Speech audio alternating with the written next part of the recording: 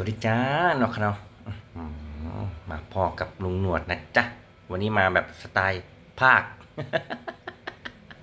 นะจ๊ะ โอ้นี่ก็มาดูบรรยากาศกระเพราไก่นะจ๊ะ แล้วก็จิบกาแฟเบาๆ นี่นี่นี่เนี่ยวิว เห็นวิวไหมครับพ่อแม่พี่น้อง ภูเขาทะเลนะจ๊ะชื่นใจนะจ๊ะ เห็นวิวแบบนี้เนี่ยลุงหนวดก็แอบแวบมา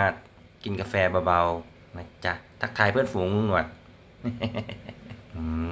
มนี่ต้องเข้มๆอย่างหนวดเนี่ย ขาดไม่ได้เลย กาแฟดำอ่าโดยเฉพาะกาแฟร้อนเนี่ย อือหือก็จะเป็นรสชาติที่แบบดื่มแล้วตื่นเลยนี่ก็เห็นวิวแบบข้างล่างนะจ๊ะวันนี้ทาสีแบบงดงามเลย สีเขียวสีเหลืองสีแดง ก็เป็น